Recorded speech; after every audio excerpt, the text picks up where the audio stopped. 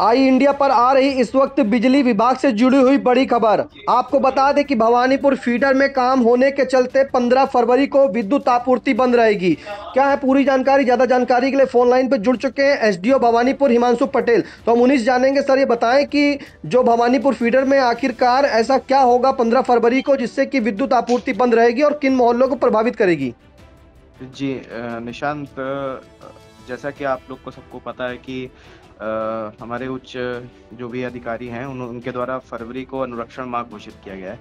तो इसी के तहत हमें भवानीपुर तथा पुराना सीतापुर केंद्र को 15 तारीख को हमने ये तय किया है कि 33 की जो हमारी लाइन है तैतीस हज़ार की भवानीपुर की उस पर जो पेड़ों की छटाई का कार्य ताकि आने वाले गर्मी तथा बारिश के सीज़न में पेड़ों की वजह से सप्लाई बाधित ना हो तो उसकी कटाई छटाई का कार्य कराया जाएगा।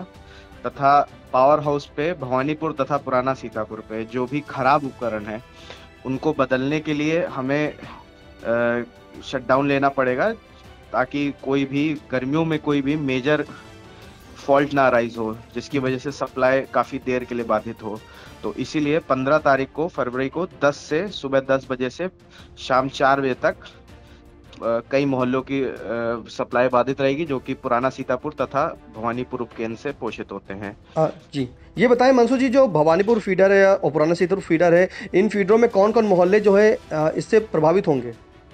इसमें लगभग आप समझ लीजिए एक से डेढ़ लाख की आबादी है। जैसे मोहल्ले की अगर हम बात करें तो जैसे Shastri Nagar Luniyanpurwa Ahata Kaptan Radhikapuri Keshav green city Lasiya grand और इधर पुराने सीतापुर में बात करें तो जैसे हेमपुरवा और रामलीला मैदान के आसपास का क्षेत्र, मन्नी चौराहा, मुंशीगंज, श्यामनाथ पक्का बाग इस्लाम बाग और आपका क्या कहते हैं कोट के एरिया और कजियारा चौराहा के अराउंड का एरिया हो गया, तथा देवांश नगर और काशीराम कॉलोनी के शुभ सिटी और आपका हैप्पी होम कॉलोनी और कनवा खेड़ा के ये सब क्षेत्र।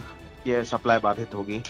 बिल्कुल, आपको बता दें कि भवानीपुर फीडर तथा पुराना सीतापुर में जो है मर, विद्युत मरम्मत करते का काम काम चलेगा, जिसके चलते आपको बता दें जो आगामी जो गर्मी आने वाली है, इसमें उपभोक्ताओं को किसी भी तरीके की कोई परेशानी ना हो, बिजली फॉल्ट जो है बिल्कुल ना हो, इसके लिए विद्युत की जो लाइन बिछी है, उसमें जो पेड़ है, उनकी छटाई का काम होगा।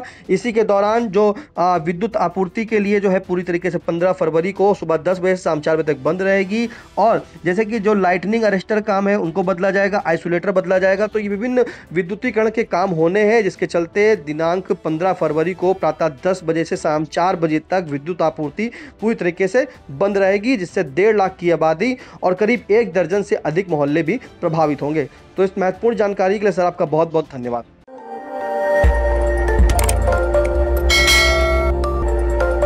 खबर आपकी, नज़र हमारी। देखते रहिए आई इंडिया।